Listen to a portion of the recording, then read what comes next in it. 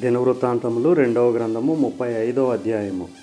మరియు యోషియా ఎరుషులేమునందు ఏహోవాకు పస్కా పండుగ ఆచరించెను. మొదటి నెల పద్నాలుగవ దినమున జనులు పస్కా పశువును వధించిరి.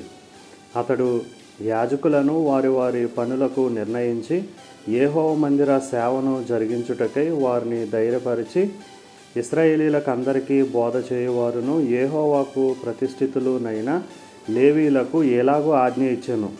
పరిశుద్ధమైన మందసమును మీరిక మీ భుజముల మీద మోయక ఇస్రాయేలీల రాజైన దావీదు కుమారుడగు సొలోమోను కట్టించిన మందిరములో దాని నుంచుడి మీ దేవుడైన ఏహోవాకు ఆయన జనులైన ఇస్రాయేలీలకును సేవ జరిగించుడి.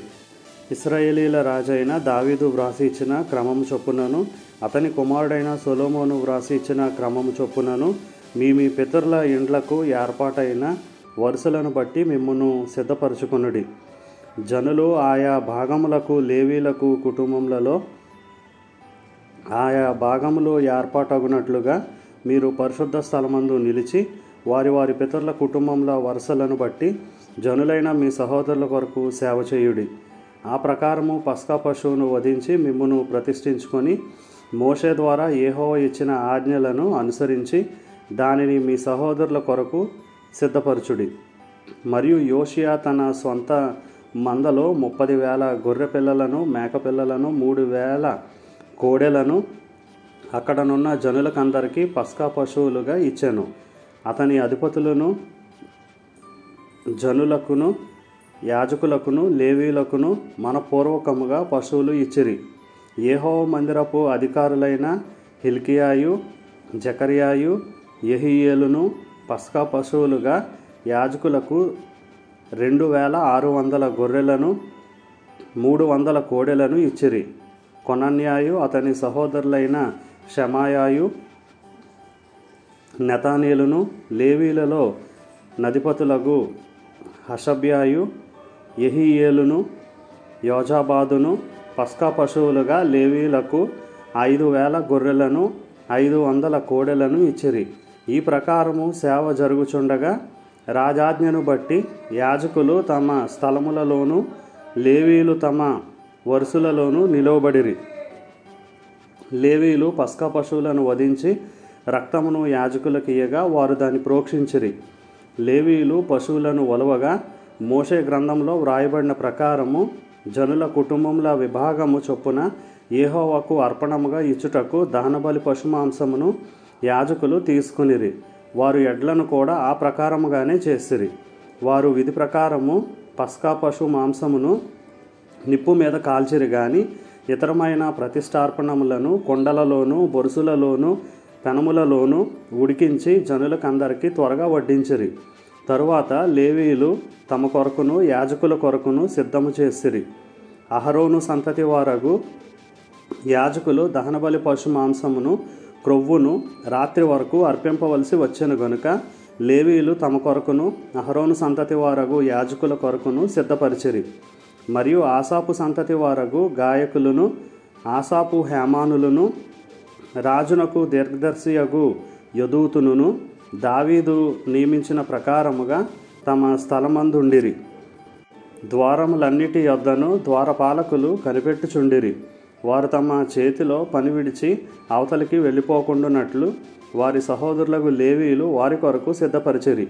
ఈ ప్రకారము రాజైన యోషియా ఇచ్చిన ఆజ్ఞను బట్టి వారు పస్కా పండుగ ఆచరించి ఏహోవ బలిపీఠం మీద దహన బలులను అర్పించుట చేత ఆ దినమున ఏమీయూ లోపము లేకుండా ఏహోవ సేవ జరిగెను.